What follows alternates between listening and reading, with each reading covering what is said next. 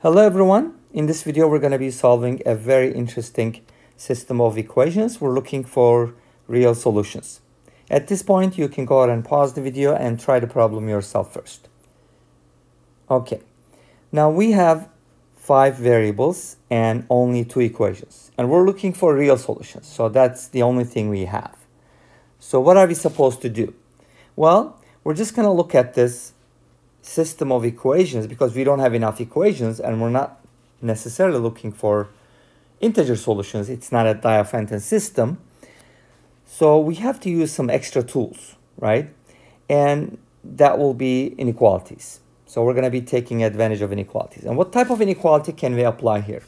Well, here's what we're going to do. I'm going to exclude the E from this equation and just focus on A, B, C, D. So what type of inequality can we use? We can use the Cauchy-Schwarz, okay? And the Cauchy-Schwarz basically tells us in this equation that we can just go ahead and write down a plus b plus c plus d squared is going to be less than or equal to. Now I'm going to be using, instead of x, y, z, w, that are multiplied by a, b, c, d, I'm just going to be using 1 so on the right hand side, I'm going to be getting, so let me write down the original inequality first so you can, you can get a better idea.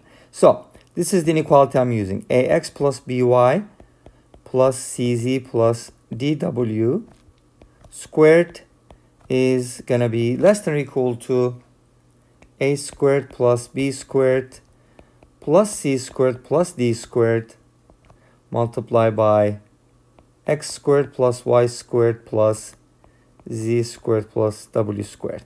Okay? So that's the type of inequality we're going to use. But in this case, x, y, z, and w are all going to equal 1. Okay? In this case. Okay.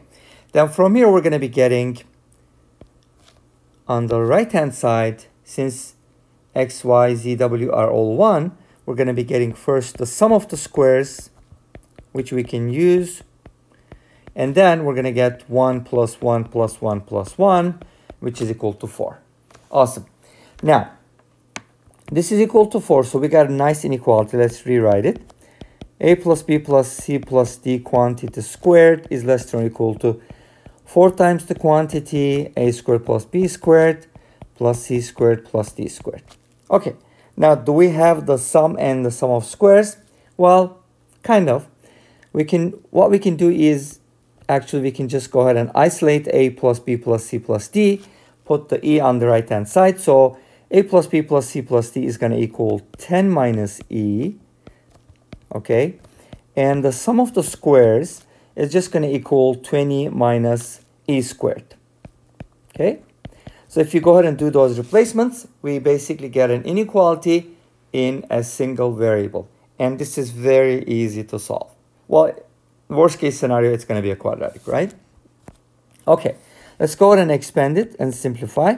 100 minus 20e plus e squared less than or equal to 80 minus 4e squared. All right, let's go ahead and put everything on the same side. 5e squared minus 20e plus 20 is less than or equal to 0. I can just go ahead and divide both sides by 5 and that's going to give me e squared minus 4e plus 4 is less than or equal to 0. And let's see what this means. When is this going to be less than or equal to 0? Only at one point. Because this is equal to e minus 2 quantity squared. And as you know, a square can never be negative. So the only option that's left for us is basically 0. So e minus 2 has to be 0, which means e has to equal 2. What does that have to do with all the other variables though, right? Well, we just randomly picked E, right? So we excluded the E, we got an inequality, and we solved for E. We could do the same thing for D, we could do the same thing for all the variables, we would still be getting the same answer. So basically our solution as an ordered quintuple is going to be 2, comma 2, comma 2, comma 2, comma 2. In other words, all these variables are going to equal 2, and that's going to be the only real solution to this system of equations. Thank you for watching. I hope you enjoyed the video. Please comment, like, and subscribe. And see you in the next video. Bye-bye.